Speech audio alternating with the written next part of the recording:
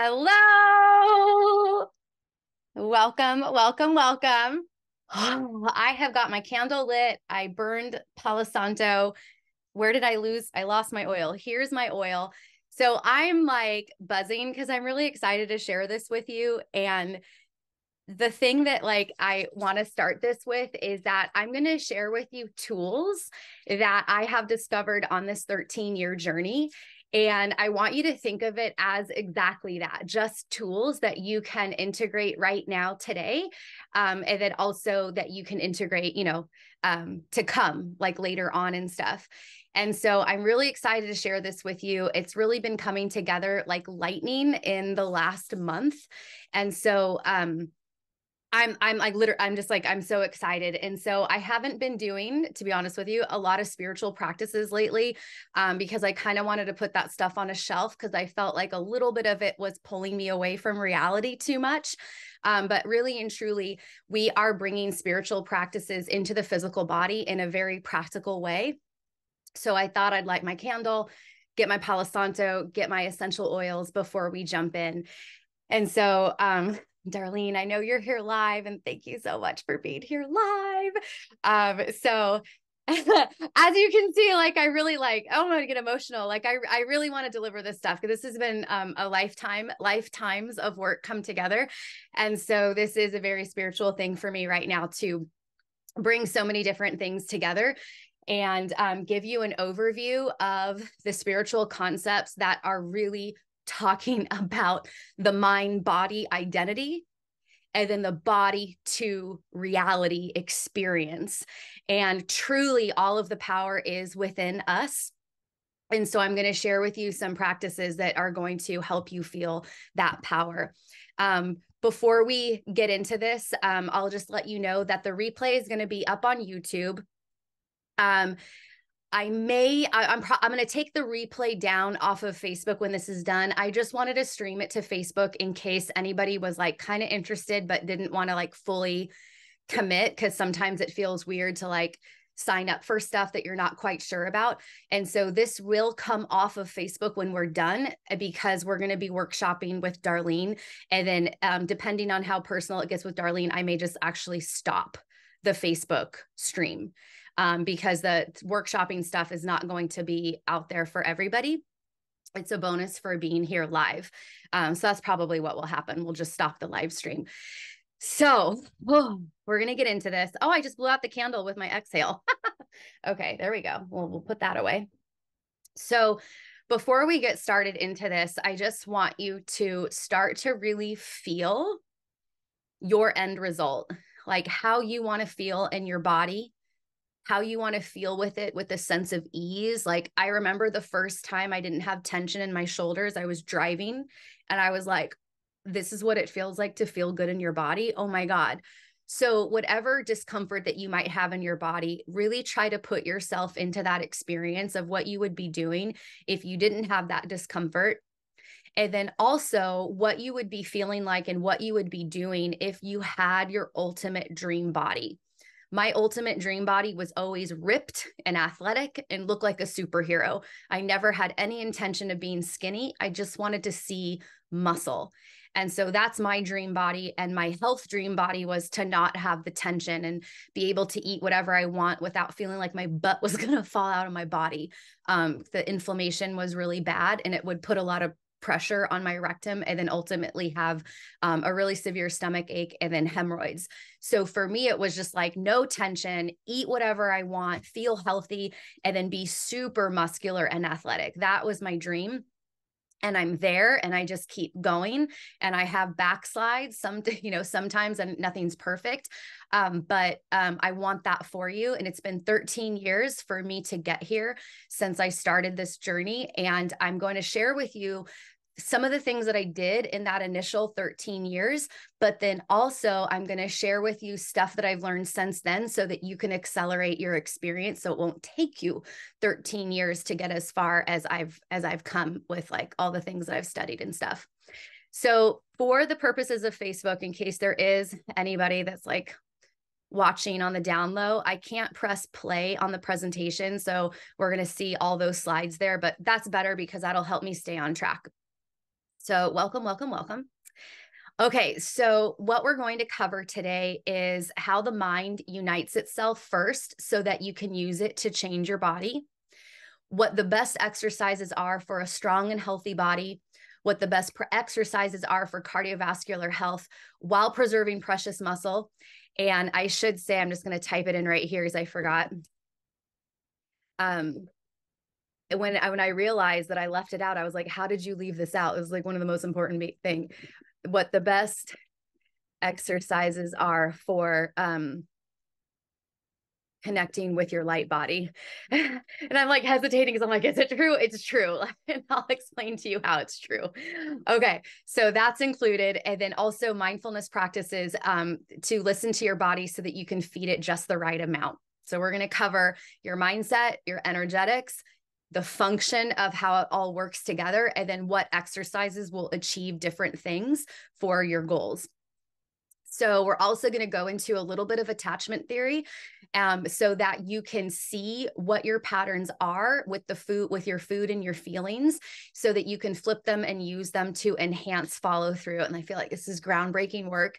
And any of my girlfriends who watch my stories and see me talking about attachment theory, they're like, oh my God, that's spot on when they've been using it for relationships and they see how I'm relating it to the food, feelings, and our sabotage, they're like, oh my God, this is amazing. So once you see it, you can't unsee it. You'll keep seeing it more clearly, more clearly, more clearly. And then once you balance it within your body and the relationship with yourself, then you're actually going to see where it shows up in every category of life. It's amazing.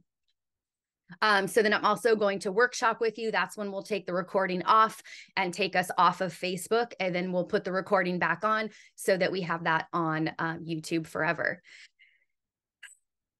Okay, we're gonna do it.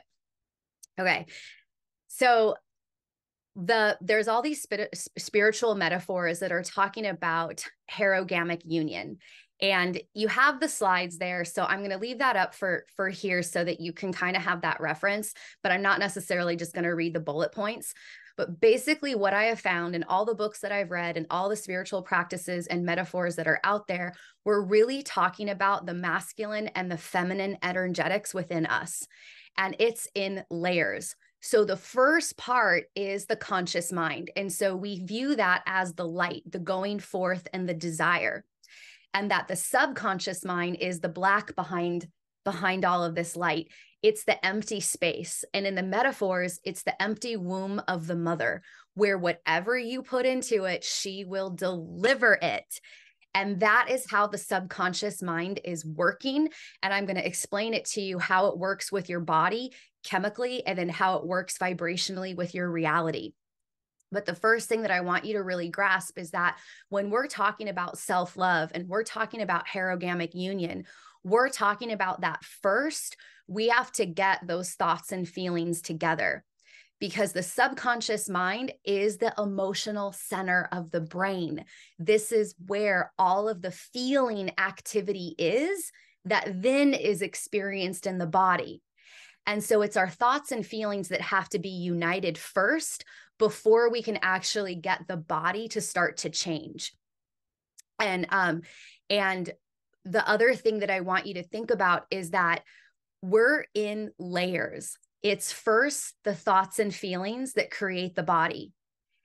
Once those thoughts and feelings are together, now we have the mind body connection. When the mind body is now mind body, as if in one word, now it's that in relationship to the outside. And so, if whatever we want to create with the outside of our body and whatever we want to create with the physical presence of the body has to first start with those thoughts and feelings because that is where the power is. We have to get that union within because those thoughts and feelings your mental body like there's an actual body like a layer of it energetically and your emotional body is a layer of it. And then you have your physical body. So we're literally pulling together the physical experience of the body and the metaphysical experience with the thoughts and feelings. And when this was like, you know, it's been a long journey for me to figure out how to say this in a small way. But this is how powerful it is. And this is why when you hear people talk about your thoughts and feelings have to match, for things to work, it's because of this, because we're actually working interdimensionally because the conscious mind and the subconscious mind have their own light layers to them. So we're literally bringing our body parts together on the physical realm and the non physical realm. And we're going to get into this deeper as the slides go on of how it works within the body and outside of the body. But for right now, if you could really imprint in your mind that the conscious mind is the light that shines into the darkness, but it's not darkness as in anything bad or fearful. It's just like, what do you want? Like, it's like a flashlight looking around your subconscious mind of like, well, what do you want to feel? You know it's like your baby dad it was like the daddy like what do you want? Like do you want money? Like uh, you know you want a car? Like what like what do you want? I'll give it to you.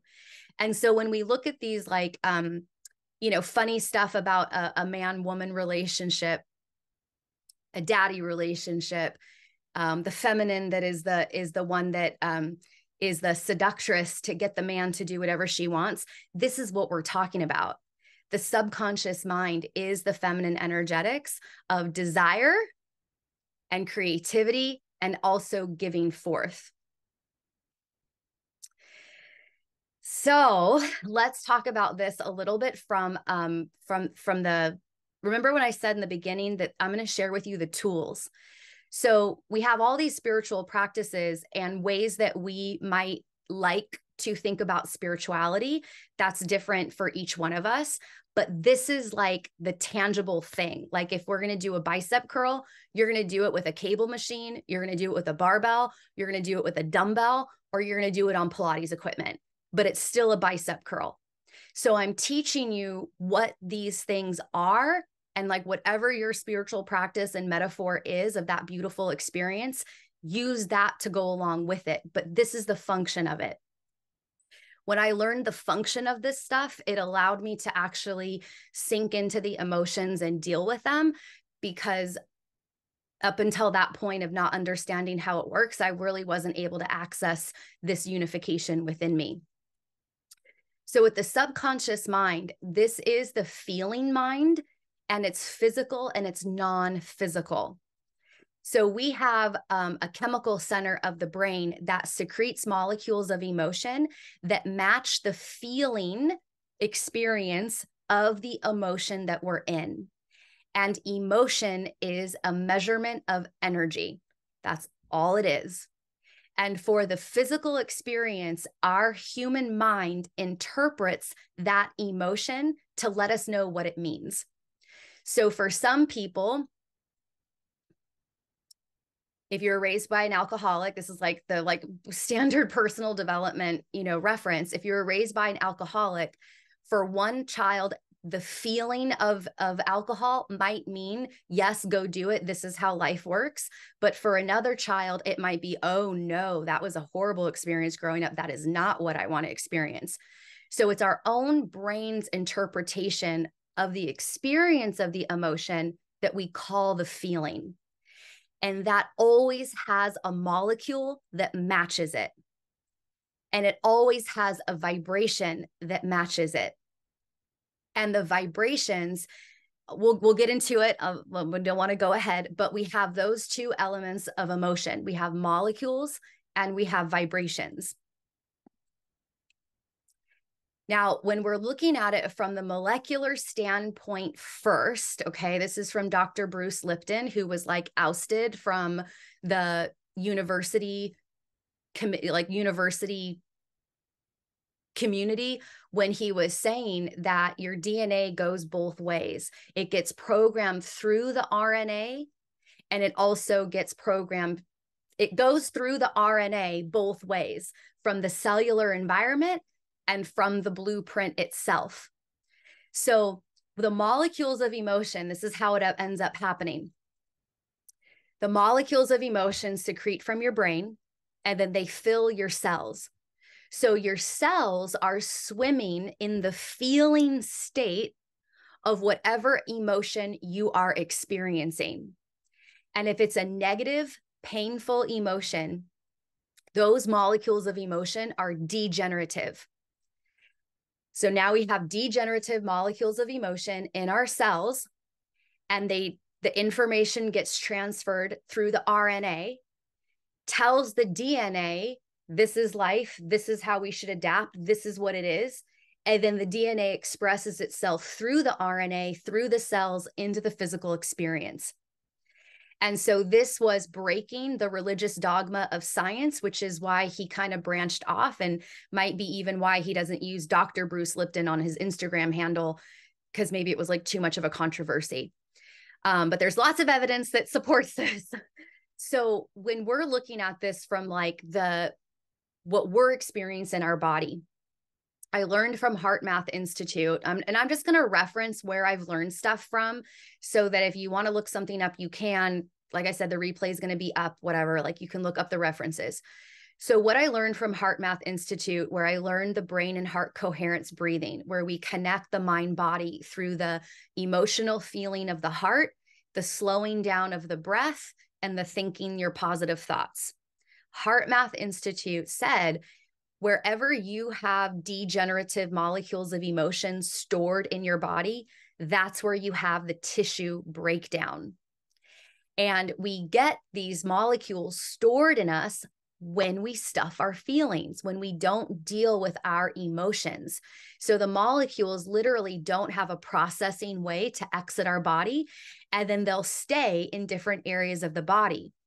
And when I learned this, I was like, oh, so I can use Louise Hay's work to pinpoint where I have discomfort in my body, look up what the meaning is and the emotions that might be there, and then really go into meditation and be like, what do I have? What memories do I have that feel the way she's describing what shoulder pain is? And so I was like using all of this stuff as tools proactively to get rid of these emotions so that I could feel good in my body. The only thing that the way we get the degenerative molecules out of our body is when we do the inner work, when we actually face those emotions.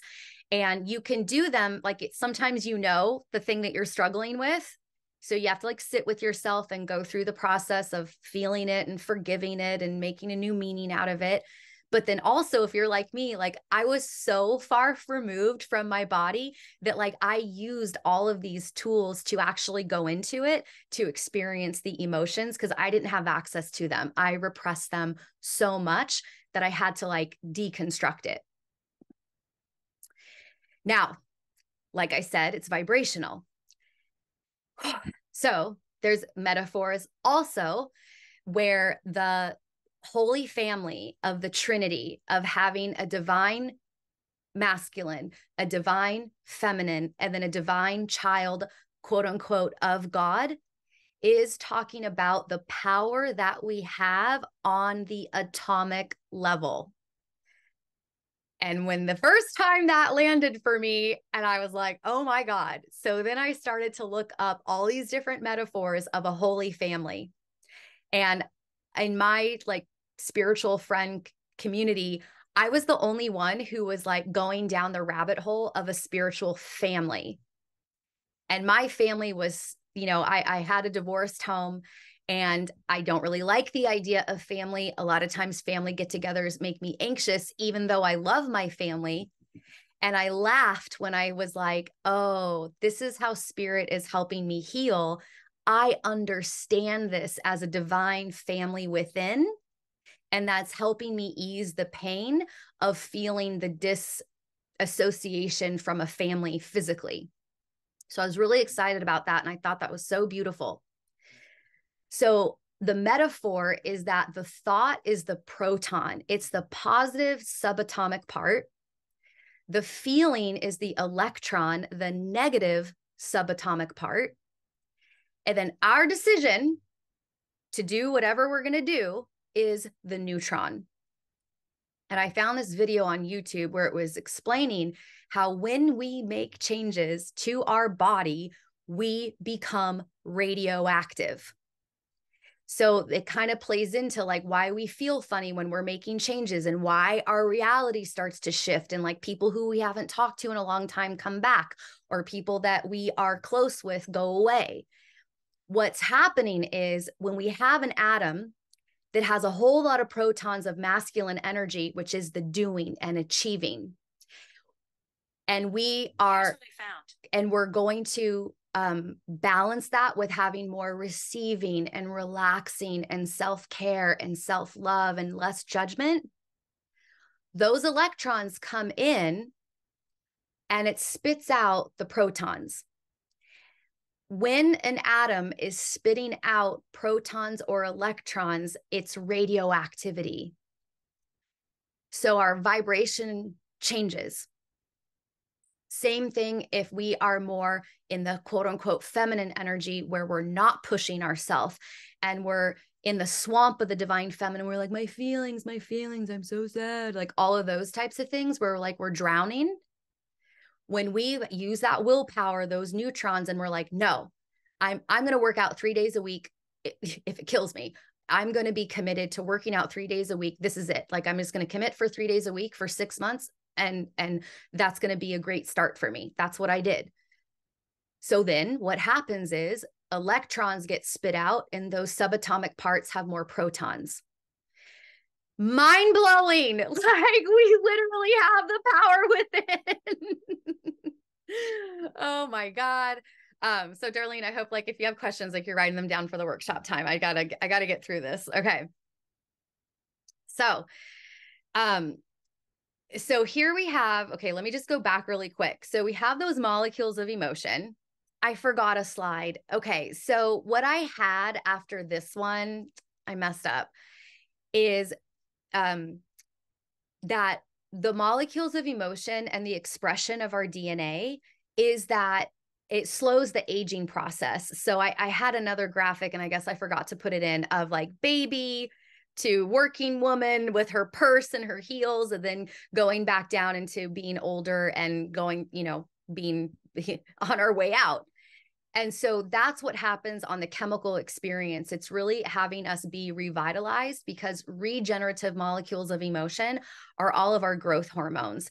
We're not really dealing with cortisol. We're not really dealing with um, with histamines.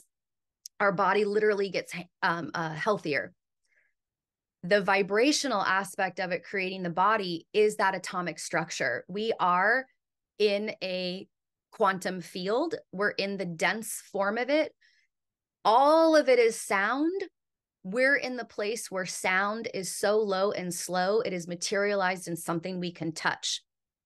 But our physical body is manifested with these subatomic parts and how they're feeling is what we're really looking to experience in this manifestation. And when I was studying Dr. Bruce Lipton's work with meditation and chronic pain, he talked about how when we are worried about the future and we're regretting the past because it's thoughts and feelings, our atoms are actually being split apart. On that atomic level, parts of our body are living in an anxious future and a regretful, painful past. So then the thing that we have here in the now moment to experience is pulled apart. So when we do this inner work, we're actually getting ourselves all together on an atomic level. When that body is together on the atomic level, well, this is happening regardless, whether it's discombobulated or together. Our vibration is what is coming out into the reality. So I have three points to share with you our willpower, that neutron being the divine child of God, and the dictionary says that God is just the is the ultimate reality. That's all God is, the ultimate reality. God includes the pain and the pleasure. It's all one thing. So our willpower, it's like on this vibrational field that's like a wave, like it's literally like water. Like there is stuff in between uh, our faces and our computers right now. This is not empty. There's stuff stuff here. We just can't sense it. So our focus is like this laser light. So if you can envision that if you were underwater and you had a light on your head that light would shine and you would see reflections, right? You would see like microorganisms, plankton, like looking like dust specks. And your light would shine on those. And you would see the reflection of the light on those little particles. That's the mirrored universe of who you are being reflected back to you. But it's also like the beacon, it's also how you are navigating the field to then pull to you with that feminine seduction of the subconscious mind what you want to experience. So it's literally us creating our entire reality on the inside and the outside. Before we move on to some of the practical stuff, we're doing so good on time. Oh my God, I'm so happy. Um, what I want to say is that the um I know for me, like when I first heard we create our reality, we're the ones who are doing it, I had that reaction of like, well, fuck you. I'm not creating this. I don't want this. But the stuff that is creating our reality is so old. Dr. John Sarno's work of the divided mind, where I learned how I had my psychosomatic injury, talks about early child primitive. And in his book, he actually says zero to seven.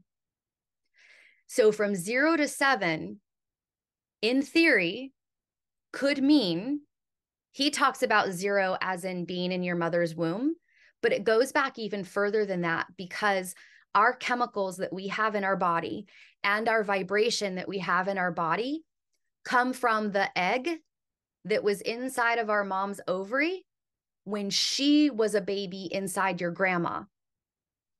And so, this stuff, this is how we get into the lineage work and the ancestry work, because whatever we're linked through our grandmothers on that chemical level and the vibrational level.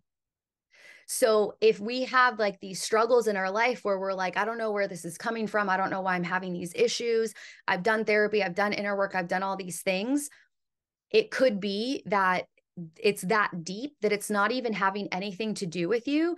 It just got stored in your body through the environment.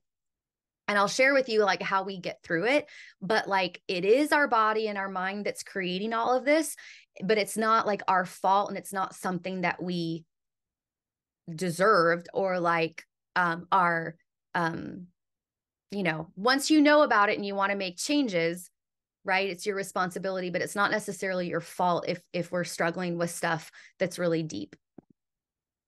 Okay. So um the exercises i'm going to share with you are going to be so that you can get your goals met. When we commit to attachment theory is coming up when we commit to changing our body we are going to pull up all of our inner child and our inner teenage problems. So our inner child of like not wanting to follow well, both of them. And like there's no like black and white scenario here. But we're going to face all of the patterns that we learned to avoid pain. And so these exercises are going to be what's going to make your body happen but also making the decision to do the exercises are going to pull up the emotions. The molecules of emotion are going to start to move. You're going to have them release and send a signal to your brain. And then you're going to have thoughts that maybe you didn't remember. You're going to have meanings in your body of elation or you know when you feel like um, you can't do the exercise you might feel the disempowering memories that you have the process of moving your body is what's going to allow you to access a lot of this unconscious stuff that hasn't been resolved for you yet, as evidenced by how you feel in your body and its performance, and how you feel about yourself and about your body. So, the muscles that are to build a strong and healthy body are compound movements. Now, you don't have to use barbells. Um, it's just this is the best depiction of it. But when we do a compound move, that means that we're moving multiple joints at once. And our muscles attach at joints and on the bone. So when we do something that is a multi joint function, like a squat, is your ankles, your knees, your hips, but the energy is like held and braced through your spine and your shoulders. Like that's like the non moving part, but the multi joint function is in the legs. The legs have a multi, have a meaning about being sturdy and being grounded. So you're going to pull up insecurities as you work on your lower body. I won't get into each thing, but basically, when we have a multi joint movement, a, a, bench press, it could be with a dumbbell, it could be with a cable, it could be with a band. If you're pressing your arms, that means you're working your wrist, your elbow, your shoulders. Your deadlift is everything has to be engaged to pull that weight off the floor. So you're working ankles, knees, hips, shoulders, elbows, wrists, all of them right? Like you get the idea. And so when we work these muscles, more we got more muscle, more balance, more coordination. The coordination comes from your joints and levers are like seesaws. So they have to organize and work together together to make the movement work. And so that recruitment of getting your body together on the physical level is also going to be doing something on the thought and feeling level. And then the real life function is that your movements get better. Like it's easier to like pick up heavy stuff or like in an awkward way. And then also with your metabolism, the more muscle you have, the, um, the more you get to eat. And, um, and also your body requires more energy to maintain the muscle. So you're going to be getting um, a higher metabolic rate. Now, for fat burning, we want to burn fat and preserve muscle. Your heart's a muscle. You want to keep as much muscle on your body as possible. So we do ladders, intervals, as many reps as possible, as many rounds as possible is usually what we will do for a high intensity interval training. And this is something that's like four to 12 minutes, maybe 15 minutes long. They're short and they are big bursts of energy and then ideally enough time to let the heart rate go down. So what you're doing is like sending this huge energetic signal. You're getting oxygen flowing really quickly. The heart rate's going up. So your cardiovascular system, your blood's getting cleaned. Your brain is going to have more oxygen in it. But ideally, these things are when you're doing an interval, that you have enough time to let your heart rate go down so that you actually get the interval action in your body like a sprinter. Like just look at a sprinter and look at a runner which one do you want to look like? The ladders is where you're like setting a timer for 10 minutes and you're like, okay, I'm going to do three exercises. The first round, I'm going to do 10 reps, then eight, then six, then four, then two. And so you end up going faster through the movement and you try to get it done as quickly as you can. So maybe that exercise session is only seven and a half minutes, but you worked your ass off and psychologically it's way fun to like have those those reps get trimmed down um, as many reps as possible. So, say you set a timer for fi- for five minutes, and you're like, I'm going to do 100 reps of squats, and I'm just going to get them done as quickly as I can. That might mean that you do all 100 in one thing, or like you do 25, and then you do 36, and you just like trying to get it done as quickly as you can as many rounds as possible, same thing. If you had three exercises and you set a timer for 10 minutes, you're going to try to do as many rounds through those three exercises as you possibly can before that timer runs out. And that's really going to help you um, get all the things on the list. I'm not going to read all of the lists right here, but you get the idea. Okay. This is the one that I left out. I can't believe I left it out because I remember when I realized what this was, I was like, oh my God, I've been literally working on this my whole life. So Pilates Barbell Club um, is a is was my gym, and we did a main strength exercise, so one of those compound lifts. Then we did high intensity. Well, we did accessory work to make sure that we supported the muscles that did that compound lift. Then we did high intensity interval training. Then we did the seven mat Pilates exercises for the transverse plane. And the reason why at the time was I was researching the bodybuilding or the strength training community and the Pilates community. And the only thing that those two communities agreed on was that a um a dynamic stretch, meaning one part of your body stays still while the other part stretches. So your body kind of becomes a piece of equipment as the resistance that that was the number one way to do stretching, dynamic stretching, and Pilates meets that criteria. The other thing that maybe the the Pilates community didn't talk about it, but like the physiotherapy, physical therapy type community um, agreed on that the the plane of motion that people got injured the most was twisting and bending sideways. The injuries don't mostly happen going forward and backward. It's side to side and twisting. So I was like, let me look through the Pilates, mat Pilates, and see what are the seven ex what exercises are for that. So it ended up being seven. And I was like, oh, five by seven, PBC five by seven. We do a strength training, we do the accessory, we do the HIIT, we do Pilates, 45 minutes. We have all our bases covered. And it was genius and it worked really well. And I had a full gym of women and it was really fantastic. So the light body connection part of it is the person that's on the profile with the pink line our gallbladder meridian. I laugh because I'm just like, is this for real? This is for real, you guys. The gallbladder meridian line is the meridian line energetically that like sandwiches you with your light body.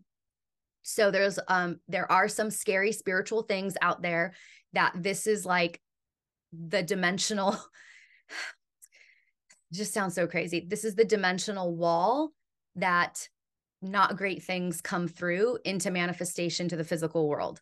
And I'm not saying that to scare you, but like like um if you look at Stranger Things and you have the wall going to the fourth dimension where the evil guy is, that's kind of the gallbladder meridian line.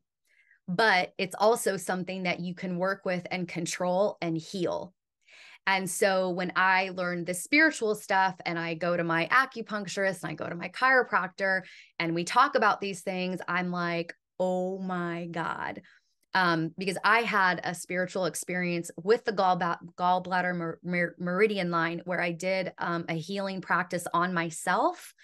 And then when I checked in with um, a person who was mentoring me and I described to her what happened, she was like, oh, this is your this is your ability this is what that was this is what it represents good job so um, we don't need to get into it, but basically, there's evidence out there that you can research and find it on the internet um, that this is what we're doing with the sagittal. I think it's called the sagittal plane. So um, those are those exercises. Now let's get into um, the the mind. Um, I was looking at the time, got distracted. I'm like, oh my god, Darlene, are you okay on time? You're fine. Okay. Okay. Thank you. Um, okay, because this is important stuff. Like I'm literally giving you guys everything. Like this is this is it. Like I'm I'm not holding anything back. I'm trying to tell you all the things that I've learned. So we're going to go over these ways so that you can really listen to your body. The first one is the deprivation to indulgence scale. So that's the top graphic there. And our goal is to stay in the middle where we are satisfied. And what this means is that we don't go into deprivation where we're in too much of a calorie cut or we're taking out our favorite foods to then where we go to an event like a barbecue or we go to a wedding or we go on vacation or you just get to the weekend and you're just like, holy shit, like I need to eat all my favorite things. Because that swinging back and forth really wrecks, wrecks our metabolism. And either way you look at it, this is stress and so, what I'm sharing with you here is really kind of about stress reduction so that we're not using food to reduce our stress. So, when we want we what we're trying to do is what we call navigating the middle, where you're always satisfied. Where if someone were to offer you a buffet of your favorite food and you would normally have the urge to be like, oh my God, I'm never going to have this again. Like, this is a special occasion and da, da, da, da, da, da. you're like, I'm good. Like you either don't even touch it because you're so satisfied leading up to that offer or you have a little bit of it because you're you're literally good. Like you like it's it tastes good but you know you don't have that urge that you need to overdo it. Another thing to do is to eat to 80% fullness. So, this 80% fullness is such an easy way to be in a slight calorie deficit where your physiology, so your body, and your psychology, your mind, don't really notice that it's in a deficit. So then you don't have any of these alarm bells going off in your body on a primal level that says, oh my God, I need to eat. So, eating to 80% fullness is such an easy way to trim a few calories every single day so that you can have a slow fat loss process. Then we have preemptive cheats.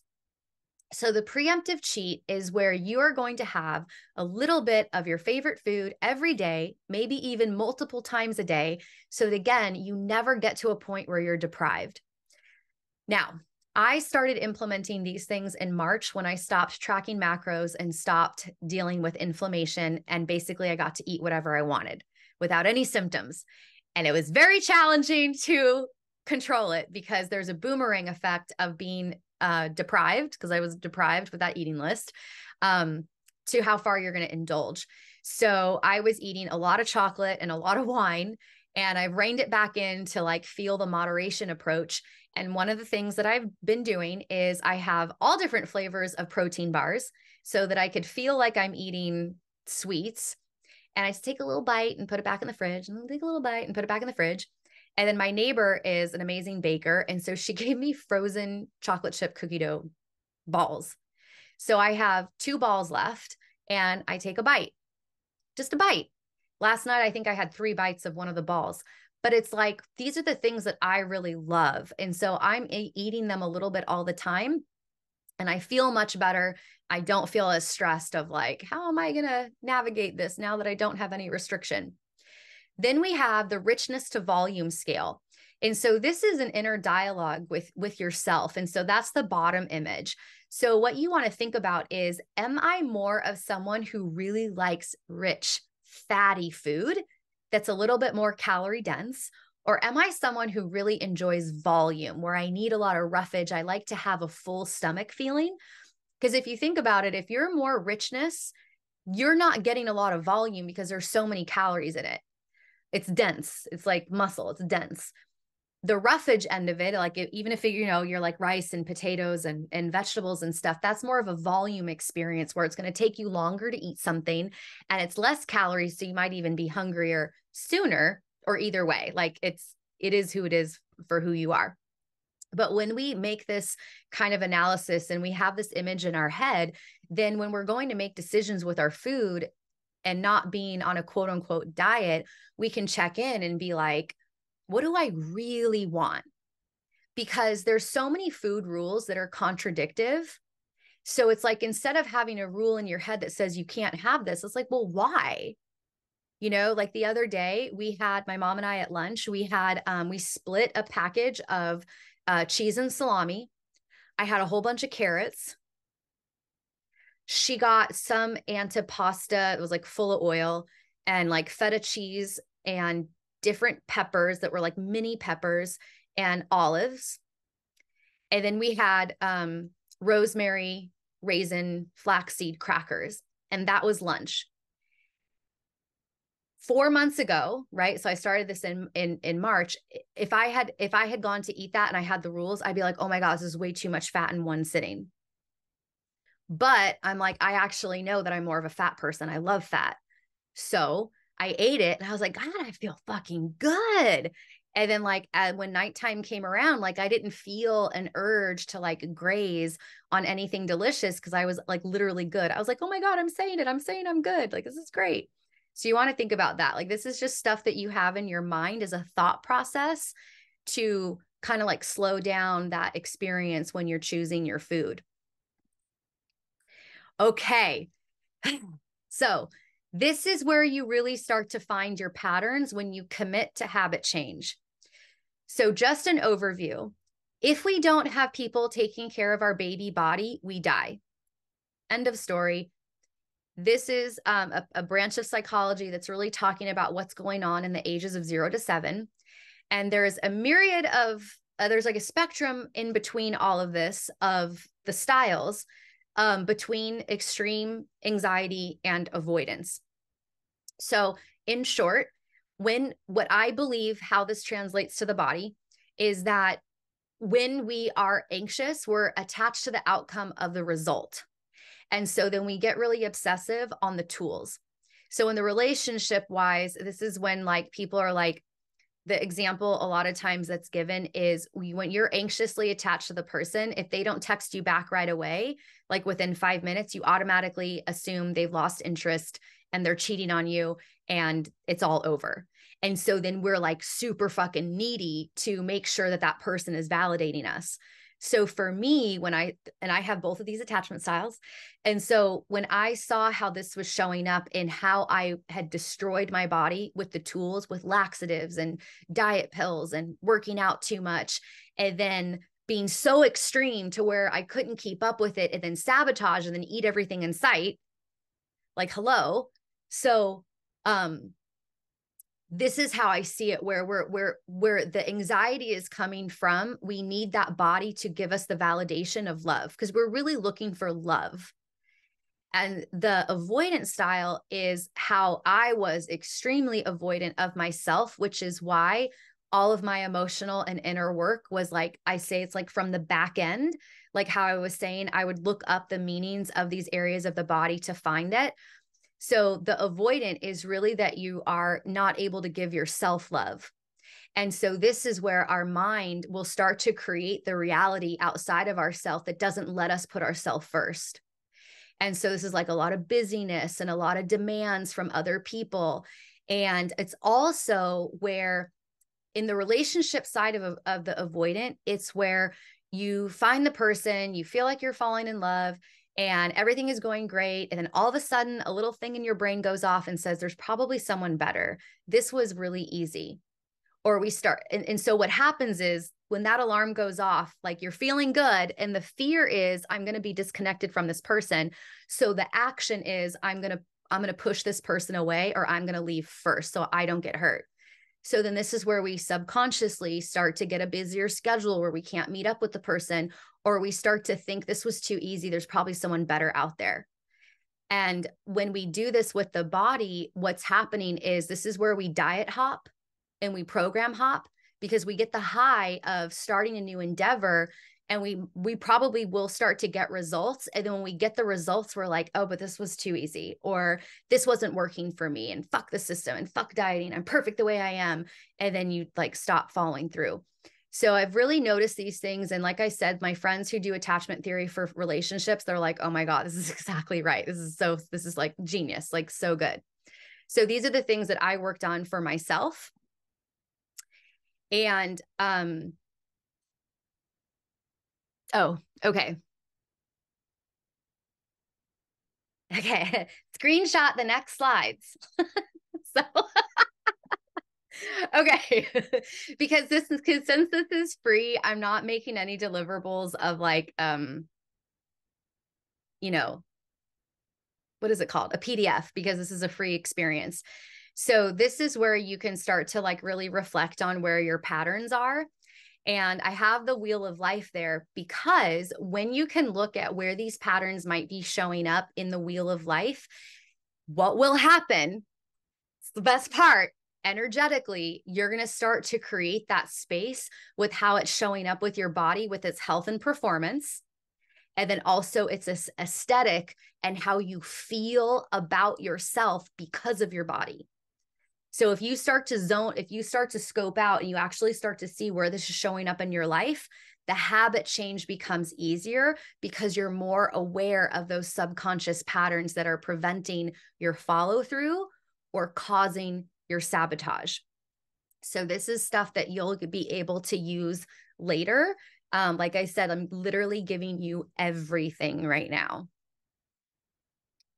Okay, this is the workshop time. We are back. If you were not here on the live recording, you missed the live workshopping where we went into some coaching. And so now I'm going to share with you um, how you can deepen this information if you're watching this on the replay or if you are here live. So, the next phase of this power moves of how you can really get into this is liftoff. And so, liftoff is four weeks where we are going to deepen all the information that you just learned. So, mindsets, what they are, and how to dismantle destructive ones and build constructive ones. We're going into two parts of the emotion how to change your mind body identity. So, that's below the skin and then how to change your body to reality experience that's outside the skin. And then the second part of the emotional work is the meaning aspect of it. So we know that they're working functionally to create our physical experience and our physical reality. But emotions have meaning. And so I'm going to take you through a process so that you can rewrite painful stories and bring them into peace and pleasure. Um, because uh, what is it called? Spoiler alert. Our mindsets are based on the remembrance of pain or the avoidance of pain. So I'm going to help you dismantle a couple of the strong mindsets um, that are keeping our body not the way we want it. And then also habit change. So, we're going to really go deep into how your attachment patterns are so that you can reshape your body and then rearrange your environment so that it's going to be a supportive environment to your new body. And then we're also going deeper into exercises. So you're going to have information and resources to actually bring yourself through strength training, HIIT, and Pilates workouts, my Pilates Barbell Club workouts that are going to be all laid out for you in a step by step process. So, the content delivery, we're going to have pre recorded trainings plus workbooks. So, you're going to have deliverable PDFs. You're going to have exclusive YouTube playlists that are only there for you. Nobody else will have access to it. We're going to have live group coaching calls so that you can really deepen the understanding of all of the information. And then lifetime access to Lift Off July 2023 of the Facebook community. And um, I don't know how many times I'm going to run this program. And so that's why we've got that lift off July 2023. So you'll have access to all of this forever so that you can always refer back to it. And that's where you're going to have like links to the calls, um, the PDFs, the replays. It's all going to be organized right there for you. Um, if you're watching the replay, you got to the replay on purpose. This was meant for you to listen to and to absorb, and you don't have to sign up with me. You got all of the information. I did not hold anything back. And you can just deepen that. You can go through this on YouTube, take screenshots, use them as journal prompts look up some of the people that I cited. If you want to do liftoff where it's four weeks, that's fantastic. I look forward to getting a message from you either on a DM or an email or a private Facebook message, whatever the information to contact me is in the um, is in the description. And um, if not, we'll see you for another live training.